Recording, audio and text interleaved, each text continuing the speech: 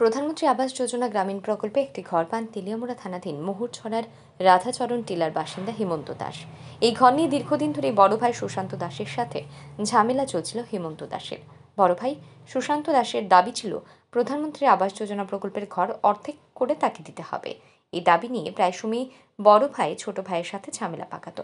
বৃহস্পতিবার গভীর রাতেও দুই ভাইয়ের মধ্যে এই ঘর নিয়ে বৎসা বাঁধে। একসময় বড় ভাই সুশান্ত দাস ধারালো অস্ত্র নিয়ে হেমন্ত দাসকে আক্রমণ করে বলে অভিযোগ। চিৎকার চেঁচামেচি শুনে গ্রামবাসীরা হেমন্ত দাসের ঘরে ছুটে যান এবং তাকে রক্তাক্ত অবস্থায় উদ্ধার করে তেলিয়ামুড়া মহকুমা হাসপাতালে নিয়ে যান।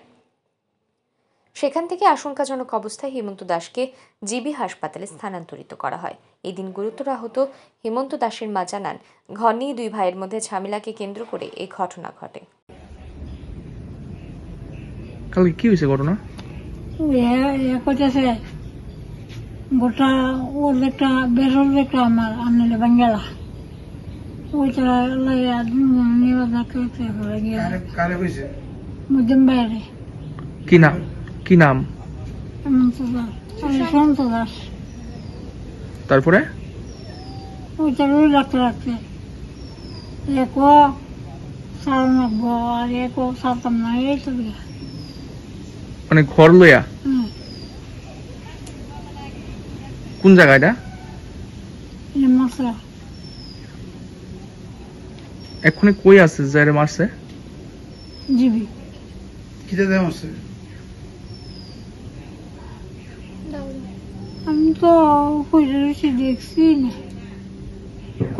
যাবে বলে রাখছে। দিন ভাই আপনার কি হয়? আমার ছেলে।